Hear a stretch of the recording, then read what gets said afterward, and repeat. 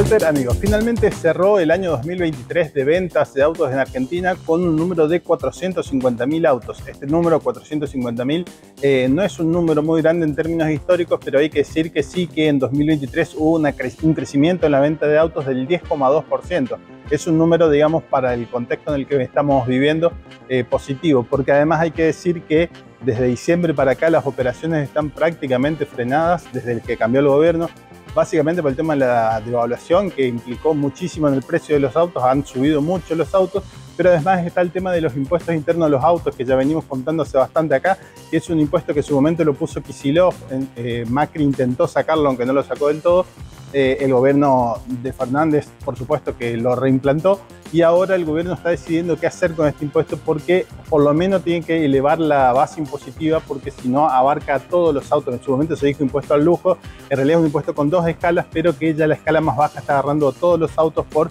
el efecto de la devaluación y el gobierno no termina de decir. Lo que se va a hacer es eliminar esta primera escala y que quede solamente la segunda, eso es el rumor que corre, pero eh, el gobierno no termina de tomar la decisión, ya lleva un mes en el gobierno y hasta que no haga esto no va eh, por lo menos a sincerarse bien el precio y saber exactamente cuánto valen los autos de Argentina, pero hay que decir que las operaciones hoy, hoy por hoy son muy pocas, eh, realmente la situación está compleja. Respecto a lo que decíamos de las ventas de autos, hay que decir que eh, Toyota cerró el año no solamente como la automotriz que más autos vende en Argentina, sino la que más produce y la que más exporta. Este es un dato eh, positivo. Y también esto se dio con el número de 2 millones de Hilux producidas en Argentina. Hace muchos años que Toyota produce la Hilux en Argentina y ha llegado a esta marca que es un número altísimo, realmente muy muy alto. 2 millones de camionetas producidas por Toyota Argentina, así que felicitaciones para Toyota en, los próximas, en las próximas emisiones vamos a ir mostrando algunas de las novedades que las marcas ya están develando en la costa atlántica, así que vamos a ir